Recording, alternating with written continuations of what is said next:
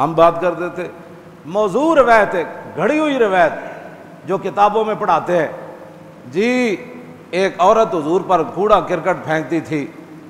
और मैं आकर जलिया ये रवायत अंग्रेजा घड़ी तो तुम जाके बयान करनी शुरू कर देती।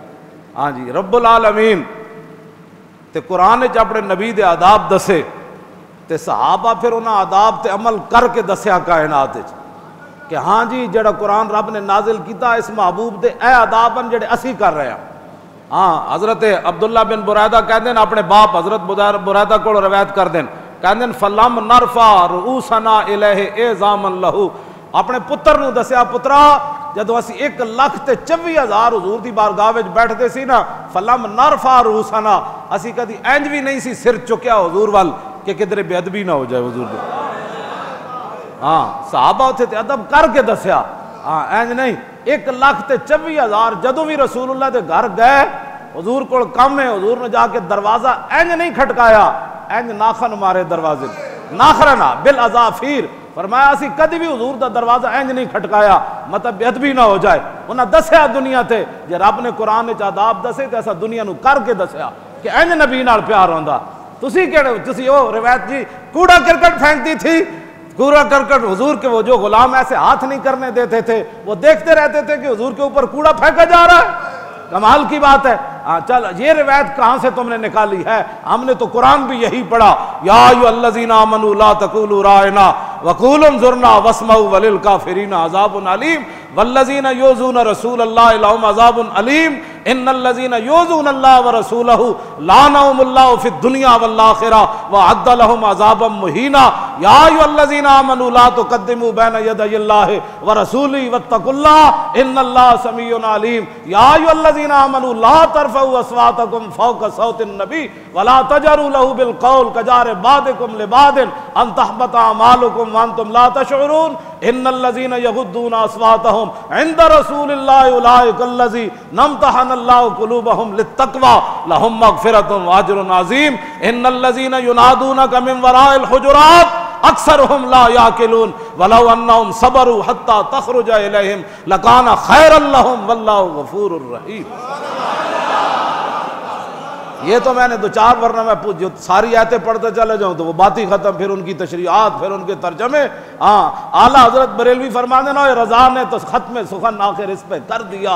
कि खालिक का बंदा और खल का आका कहूँ तुझे, तेरे तो बस ऐबे तनाही से है बरी। हाँ जी जाके किसी जगह रुक जाने। आला हज़रत फरमाने ने ते ऐ ना चल दिया चल दिया चल दिया चल दिया बंदा कवे जी, बस इथे सटा पे। आला हज़रत फरमाने नहीं, तेरे तो बस तेरिया खूबियाँ, तेरिया शाना। या रसुल्ला आपकी शान, आपकी खूबियाँ। इनका तो इंतहाई कोई नहीं। तेरे तो बस ऐबे तनाही से है बरी। हैरान हूँ मेरे शाह, क्या क्या कहूँ तुझे? सरवर कहूँ के माले को मौला कहूँ तुझे, और बागे खलील का गुले जेबा कहूँ तुझे। ये एक रवायत गढ़ के जी, जो भी जाता है सरकारी महकमों में, इंसान के पुत्र बनो ए इंटरव्यू मत लवो, हजूर की इज़्ज़त आबरू के बारे। अज तुम जड़िया पैंटा पतलूना पा के बैठे हो जितने तुम व्डे व्डे अहद्या भी भी के बंगलिया ਤੇ ਬਦਮਾਸ਼ੋ ਤੁਹਾਡੇ ਅੱਗੇ ਪਿੱਛੇ ਨੌਕਰ ਹਨ ਇਹ ਸਿਰਫ ਪਾਕਿਸਤਾਨ ਦੀ ਵਜ੍ਹਾ ਹੈ ਨਹੀਂ ਤਾਂ ਜਾ ਕੇ ਹਿੰਦੁਸਤਾਨ ਦੇ ਮੁਸਲਮਾਨਾਂ ਕੋਲ ਪੁੱਛੋ ਨਾ ਤੇ ਕੀ ਗੁਜ਼ਰ ਰਹੀ हाँ ये सिर्फ पाकिस्तान का मतलब क्या ला मोहम्मद रसूलुल्लाह ये मत बदमाश है समझन बड़िया बड़िया कुर्सियां ते बह के इन्हों के प्यो की इज्जत इन्हों के प्यो की वजह तो इन्हों की इज्जत है ना ना ये सिर्फ पाकिस्तान बनया और मेरे आका मौला के नां से बनया अल्लाह रसूल के नां से बनया मुसलमान कुर्बानियां दित्तियां आज तुम जनाब कलफ ला के पेंट बह के ते पूछते हो, मुमताज़ कादरी में क्या बार ख्याल है? तो ये ना पूछो, बल्कि ये पूछो कि मुमताज़ कादरी के ऊपर जिन्होंने जुल्म किया, उनके बारे में तुम्हारा क्या ख्याल? हाँ सरकारी महकमों में हमें शिकायतें आ रही हैं कि ये पूछते हैं, मुमताज़ कादरी के बारे में तुम्हारा क्या ख्याल है? ये सवाल मुमताज़ कादरी का तो फैसला हो गया। वो तो मस्जिद नबी शरीफ के अंदर भी मुमताज़ कादरी के नारे लग गए। इससे बड़ा फैसला क्या होना है? इनके नारे लगे, गो गो, दफाओ दफाओ। तो मुमताज़ कादरी जिंदाबाद के नारे किसने लगवाए? हाँ ये बात तो फैसले तो हो चुके। अब मजीद फैसलों का इंतज़ार है। हाँ वसयालमजीन अन करीब जालमों को पता चल जाएगा कि उनके जुल्म का अंजाम क्या होने वाला है। हाँ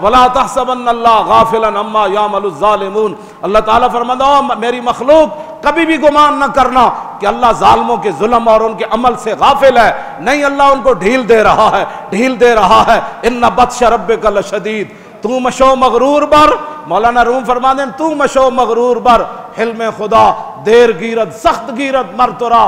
तू जो जुल्मों से तम पर उतर आया, तूने मस्जिदों के स्पीकर उतरवाए, उलमा पर फौर शेड्यूल लगवाए, मस्जिदों में पुलिस बूटों समेत दाखिल हुई।